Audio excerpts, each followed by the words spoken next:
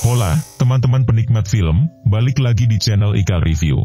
Kali ini, saya mau ngebahas film horor terbaru yang bikin geleng-geleng kepala, karena sinopsis film ini yang agak lain, yaitu tentang manusia yang jatuh cinta dengan sosok Ocong.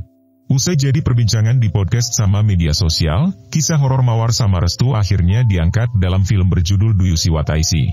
Gak heran, banyak netizen yang menunggu-nunggu penayangan film garapan Awi Suryadi ini. Mengadaptasi salah satu kisah paling populer First Love, dari podcast dengan nama yang sama, pasti banyak dari kalian yang udah pada tahu. Ceritanya, First Love, sempat viral beberapa minggu lalu. Waktu nonton trailer film ini, saya cukup optimis sama hasilnya. Ternyata, hasilnya memuaskan, film ini gak lebay buat nunjukin penampakan setannya, tapi tetap menghadirkan kengerian yang tepat. Alurnya familiar bagi fans podcastnya, tentang Mawar, seorang gadis lugu yang ingin punya pacar di ulang tahunnya yang ke-20. Namun, sejak dia pacaran, tingkah lakunya jadi aneh. Bersama sahabatnya, Faye dan Kartika, mereka mencoba menyelidiki keanehan itu. Dan ternyata, pacarnya bukan manusia, melainkan pocong.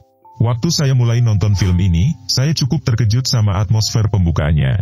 Saya terkesan sama adegan pembukaan yang bagus dari segi teknis. Film ini berhasil ngasoh kesan yang mendalam secara visual.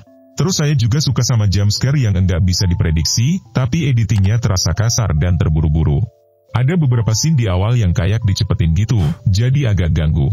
Tapi naskahnya sangat rapi dan tepat, terutama dalam timing penggunaan jumpscare dan pembangunan ketegangan. Ceritanya jelas menggambarkan penderitaan cinta dari berbagai karakter, dengan nuansa yang sesuai dengan era 90-an. Film ini mengambil latar tahun 90-an, tepatnya tahun 1996, ditandai dengan siaran radio yang menyebutkan kematian rapper Tupac Shakur. Tapi ada ketidakseragaman dialog yang terasa modern, bikin sedikit ganggu. Para pemainnya juga ngasih penampilan yang kuat. Diandra Agatha, Shanina Cinnamon, Sonia Alisa, Sarah Felicia, dan Jessica Shina menarik perhatian dengan akting mereka yang solid. Meskipun gak ada yang mencapai tingkat akting luar biasa, tapi akting mereka cukup memadai dan membuat karakter-karakter dalam film ini terasa nyata. Karakter Mawar yang diperankan oleh Diandra Agatha berhasil menunjukkan perkembangan karakter yang menarik. Penggambaran sosok pocong dalam film ini berhasil bikin bulu kuduk merinding di dalam bioskop. Selain itu, jumpscare yang dihadirkan pun dirasa tak berlebihan, tetapi cukup membuat teriakan penonton bergema. Saya suka pendekatan minimalis dalam menampilkan penampakan hantu. Gak berlebihan, tapi cukup menegangkan. Sosok Ocong, pacar mawar yang sebenarnya hantu, gak muncul terlalu sering. Ini membuatnya lebih misterius.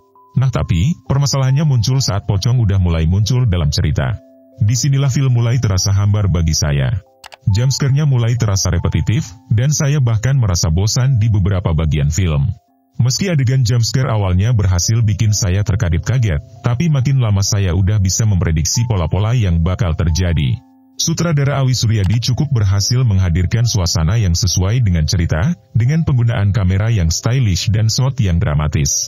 Teknisnya, Awi memang top di genre horor. Sutradara, Awi Suryadi, memanfaatkan berbagai sudut kamera, pergerakan kamera, dan pencahayaan untuk menciptakan atmosfer yang kuat. Penggunaan teknik sinematografi ini berhasil membuat saya merasa tegang sepanjang film. Sayangnya film ini punya potensi yang gak sepenuhnya dimaksimalkan. Meski punya aspek teknis yang kuat dan akting yang solid, cerita yang kurang dalam bikin terasa kurang memuaskan bagi saya sebagai penonton. Meski ceritanya terasa dangkal, ending film ini cukup berhasil memberikan kesan yang manis bagi penontonnya. Tanpa ending yang memuaskan, saya pikir film ini akan terasa lebih hambar. Jadi, kalau kamu mau nonton horor Indonesia yang cukup memuaskan, Do You See What I See bisa jadi pilihan yang tepat. Tontonlah film ini dan rasakan sendiri kengeriannya yang berbeda dari horor-horor konvensional Indonesia lainnya. Secara keseluruhan, ini salah satu karya terbaik Awi Suryadi. Dia berhasil membangun elemen 90-an dan menempatkan kengeriannya dengan tepat.